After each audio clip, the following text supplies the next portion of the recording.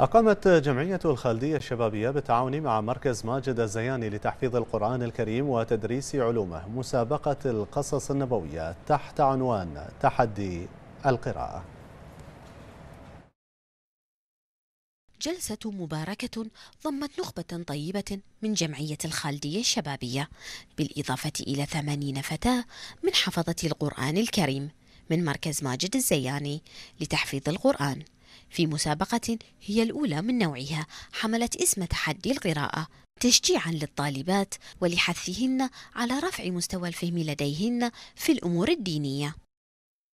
مسابقة القصص النبوية تشجع الطالبات تثري مناهجنا إحنا آه تنمي عقولهم آه تساعدهم على الإبداع تعكس هذه السيرة النبوية تعكس سلوكياتهم في الحياة في ظل مبادئ اللي هو ديننا الحنيف. جات فكرة المسابقة أن إحنا نتعاون مع مركز ماجد لتدريس القرآن.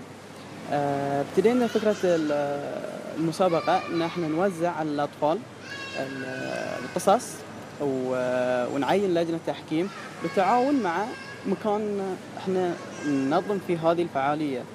فابتدينا توزيع القصص على الأطفال المشاركين بالتعاون مع مركز ماجد هذه المسابقة والتي أقيمت على مدار أسبوع كامل قرأت كل طالبة قصة وعاشت تفاصيلها في مخيلتها بشغف وحركت بداخلهن الرغبة الحقيقية لتدبر معاني تلك القصص المرتبطة بكتابنا الحكيم وما يحمله من رسائل ومواعظ.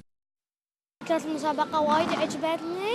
وبالذات ان أنا يعني قاعدة أحفظ القرآن والقصص النبوية فيها وايد أشياء تسهل علي حفظ القرآن.